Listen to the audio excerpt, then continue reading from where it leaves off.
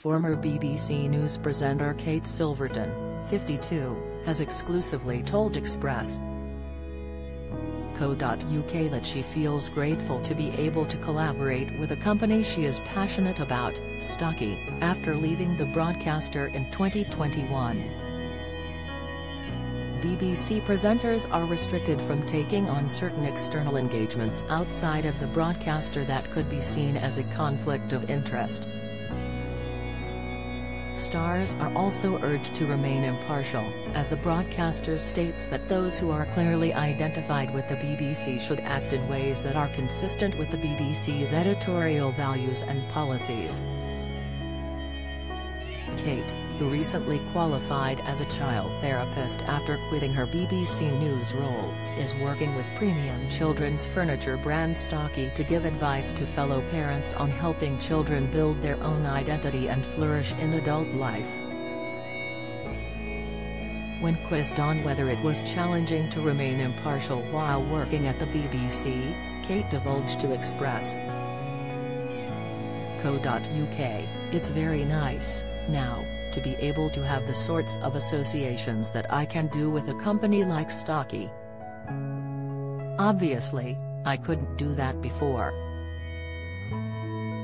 Countryfile star Matt Baker talks being skint with wife Nicola I think there comes a point, you know, M53, and it's nice to be in my space and to speak on matters that I am able to speak about, and I think I have my own sort of platform, really.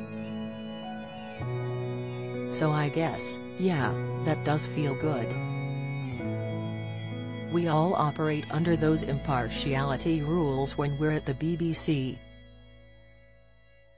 But I guess now, I'm in a different stage where I'm able to speak about the matters that really matter and that I'm passionate about.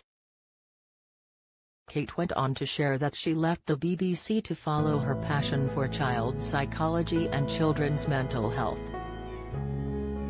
She revealed, People say, do you miss BBC News? I've always looked forward and I was just following my passion. The journalist also shared that she was motivated to sign up to Strictly Come Dancing in 2018 as she felt the move would allow her to branch out into her dream second career. Mum of two Kate explained, I did Strictly with a view, because it wouldn't have been my natural leaning, as much as I loved it. But I did it, really, because it sort of had those seeds of wanting to create a second career. Don't miss. Jessie J unveils the daddy to my baby after struggle to keep things private. Latest, Jane McDonald turns heads as she replaces Phil Schofield at British Soap Awards, Picks, Gary Lineker uncomfortable over his salary as he admits rocky ride with BBC, comment, I mean, I didn't see it as a career, I see it as my life's work, and I knew I wanted to talk about children's mental health. And I thought, well, that's a really good way of having a platform to do that. After leaving the BBC to become a child therapist, Kate has teamed up with Stokke, a new study by the company looked at the concerns parents of 0-5-year-olds have when raising their children. According to the study, 29% of parents of children aged 0 to 5 years were concerned about their child growing up shy, and 27% were worried about their child standing up for themselves.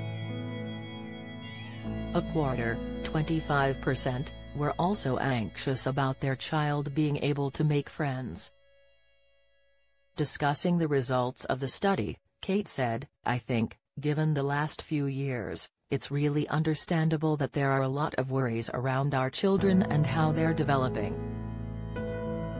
In light of some children lacking social interaction in their early years due to the COVID lockdown, Kate added, I do want to give a lot of reassurance to parents that the brain is very plastic, and it learns, so, please don't worry,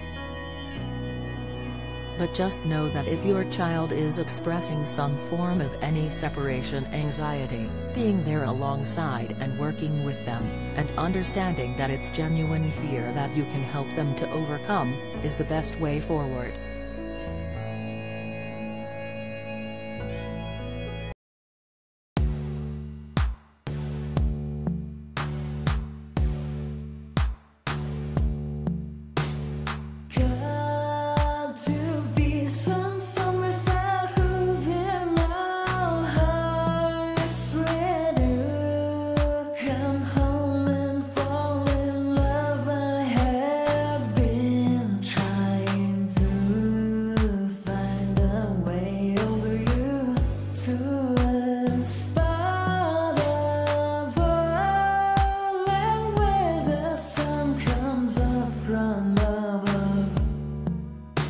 melted.